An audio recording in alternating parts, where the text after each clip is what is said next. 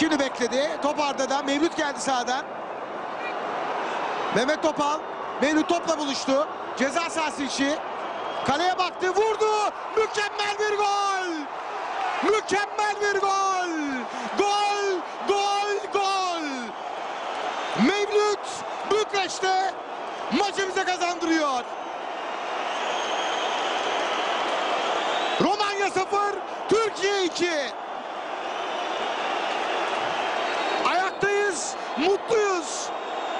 Bu ilk finalimiz ve Romanya karşısında 2-0 öndeyiz. Oyuncular herkes Fatih Hoca'ya koştu. Mevlüt bekledi kaleye baktı. Akıl dolu bir gol. Mevlüt'ün golü.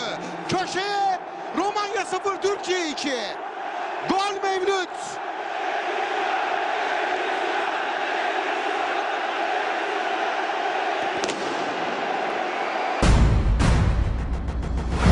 ensonhaber.com